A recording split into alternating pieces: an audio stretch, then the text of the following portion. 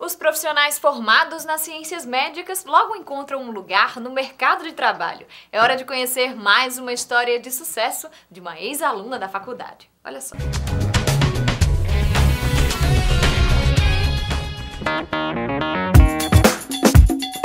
Ana Carla é fisioterapeuta. Se formou nas ciências médicas no primeiro semestre de 2011 e depois de fazer um curso começou a trabalhar com pilates.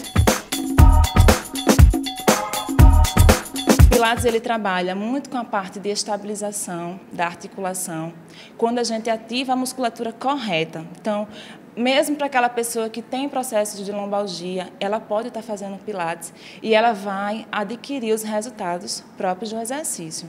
Quando ele faz a respiração correta, quando ele faz a postura correta, quando ele faz os movimentos corretamente. Ela conta que ao sair da faculdade se sentiu pronta para o mercado de trabalho. A faculdade ela prepara o aluno não só na parte científica, mas também na parte social e política, que é muito importante que o profissional esteja humanizado quando ele vá para o mercado, né?